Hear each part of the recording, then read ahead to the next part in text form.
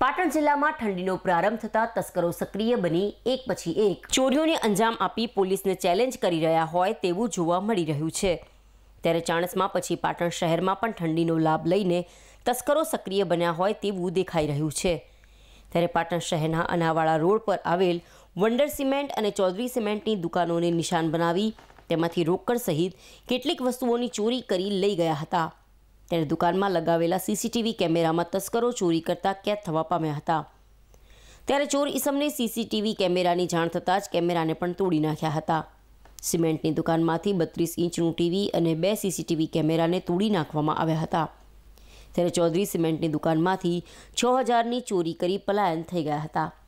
ત્યારે પોલીસ દ્વારા રાત્રિ દરમિયાન કરવામાં આવતા પેટ્રોલિંગ સામે પણ અનેક સવાલો ઊભા થયા હતા અને પોલીસ રાત્રિ દરમિયાન ઊંઘતી ઝડપાઈ હતી. શ્રી ગણેશ ટ્રેડિંગ અનાવાડા રોડ ઉપર વંડર સિમેન્ટની દુકાનમાં રાતે બે વાગે ચોરી થઈ. એમાં કેમેરા અને ટીવીને નુકસાન કરેલ છે. ટીવી પણ લઈ ગયા જોડે. પોલીસ ફરિયાદ કરી, પણ હાલ લેખિતમાં હાલી જાણ કરી.